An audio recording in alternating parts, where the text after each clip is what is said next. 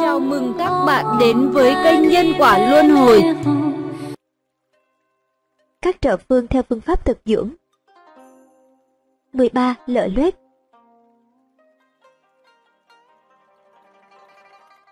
Nước cốt nghệ, muối, phèn chua giả nhỏ. Ba thứ này phân lượng bằng nhau Tất cả trộn chung rồi chưng cách thủy khoảng 15 phút. Bôi nước này lên chỗ lợi luết là khô liền.